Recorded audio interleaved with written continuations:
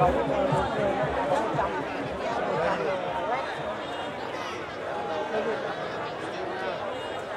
mấy cái bóng 100 nữa anh cứ đấu ra chỗ lỗ sắt này bây giờ đi của gần nữa đi đâu Hả?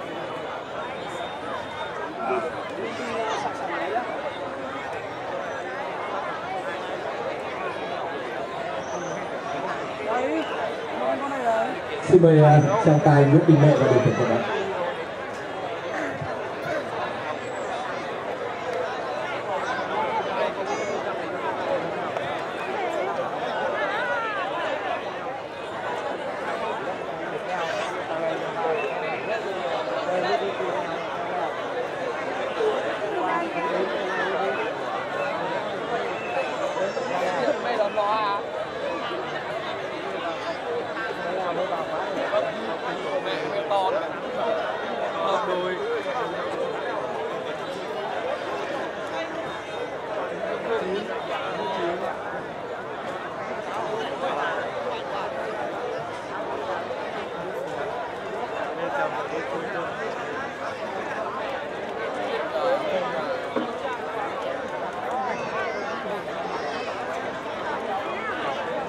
Sau đây là chương trình thi đấu ở lèo số 36.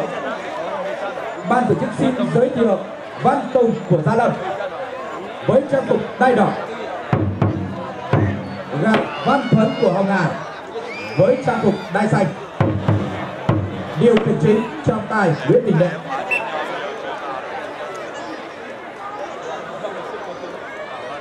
Hai đội chú ý nghe hiệu lệnh trong tài trống xe đạp.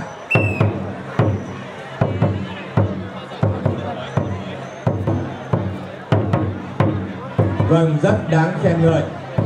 Đỗ Văn Tuấn của Hồng Hà.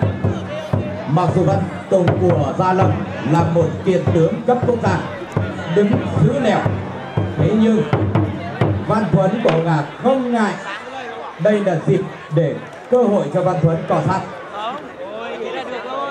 Hai đội chú ý, hiệp thi đấu thứ nhất bắt đầu.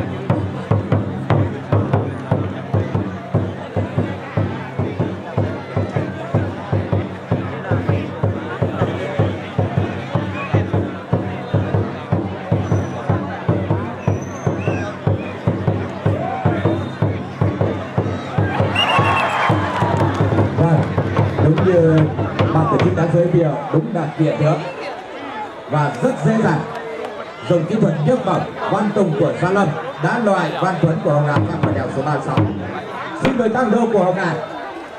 Lúc này thì quyền theo lèo đang thuộc về hồng hà.